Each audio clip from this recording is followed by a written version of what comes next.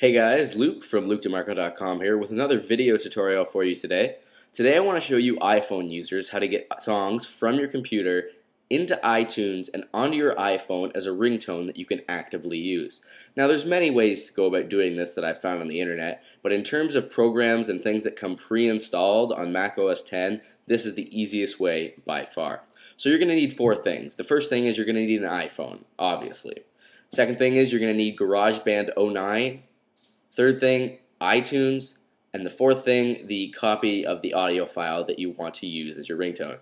Right now, I just have a song that I pulled from iMovie 09, which is called Breakbeat Long.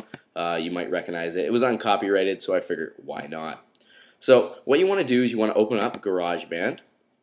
And when you open up GarageBand, this menu should pop up that throws a bunch of different options at you.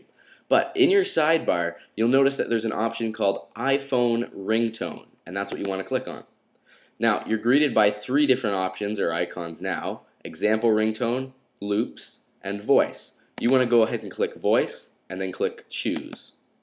Now, you can name your ringtone whatever you want. Uh, I'm just going to name it uh, MacBook ringtone and it'll create your ringtone and then it'll open up GarageBand 09. Now up here in the top left hand corner you'll notice that I have two tracks, a male track and a female track. Um, right now we're just going to ignore one of the tracks and we're going to use the male track.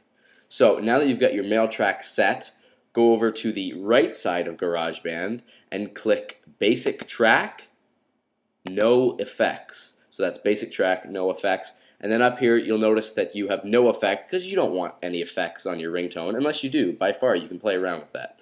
But uh, if you want just the song, nothing else, no effects is the way to go.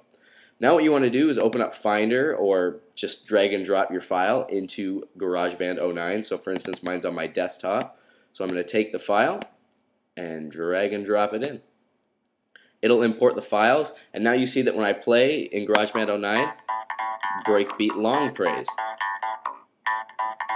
So now you'll notice that I have this orange bar right at the top here. It's a yellowish orangish bar.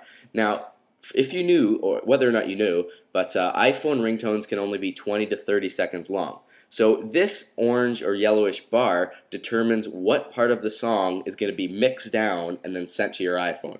So I don't want this beginning part in my ringtone. I don't want to have to listen to that quiet every time my iPhone rings. What I want to do is I want to drag this yellow orangish bar to where I want it to start, which is right here where things start to pick up in the song.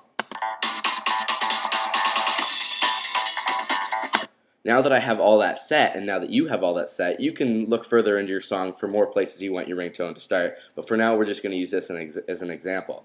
So now that your iPhone ringtone is set, everything's in place, go up to Share, send ringtone to iTunes. It's just as easy as that. That'll create a mixdown, convert it, and then that'll also open up iTunes right now. Now, as you'll notice, my ringtone just started playing. It's in iTunes now. It's called MacBook Ringtone because that's what we named it. Uh, the It's a 20 second long ringtone. Artist obviously is me, and you can change all this.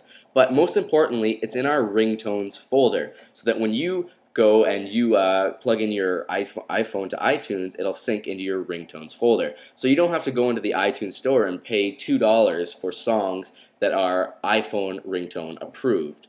So guys, this is Luke from LukeDiMarco.com. Let me know what you thought of this tutorial or if I should do more. Uh, rate, comment, and subscribe, and we'll see you next time, guys.